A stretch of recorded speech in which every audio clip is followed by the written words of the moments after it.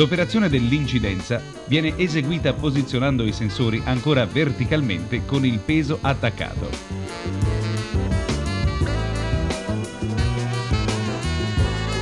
L'indice magnetico viene posizionato per indicare il punto d'inizio della sterzata, come si vede indicato dallo zero sulla scala graduata del piatto. Viene effettuata una prima sterzata a 20 gradi, seguendo l'indicazione del display.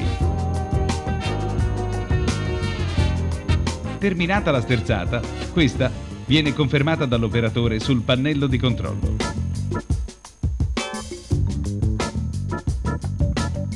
Si prosegue con un'altra sterzata, sempre a 20 gradi, ma nella direzione opposta. Una volta raggiunti i 20 gradi, questi vengono confermati sul pannello. Si ottiene così la misura iniziale di incidenza. Al termine di questa operazione, il computer richiede di riportare le ruote in direzione di marcia.